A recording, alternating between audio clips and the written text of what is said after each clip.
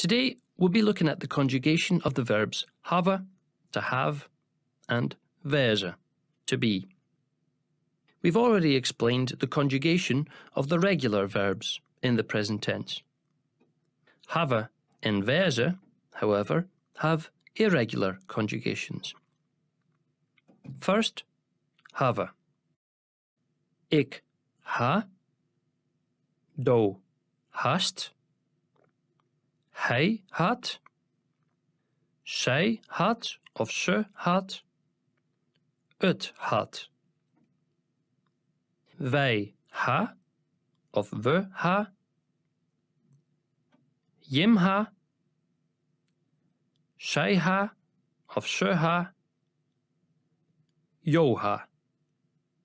Here are some examples.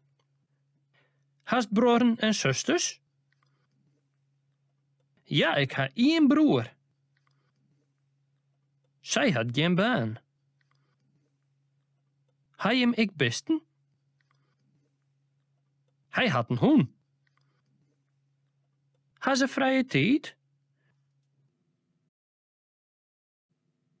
Second, the verb wezen.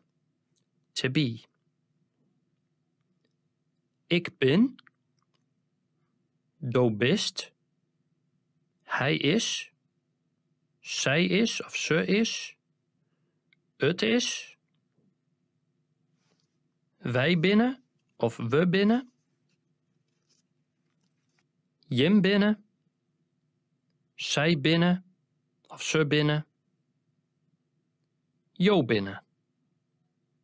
Let's look at some examples again. Ik ben Simon. Wat binnen die hobby's? Du bist Afke. Wat is die adres? Waar binnen dat? Zijn naam is David.